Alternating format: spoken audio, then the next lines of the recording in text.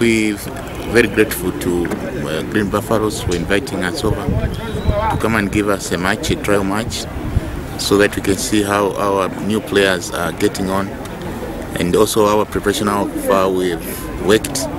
So we, we're happy so far with the, uh, the program is going well.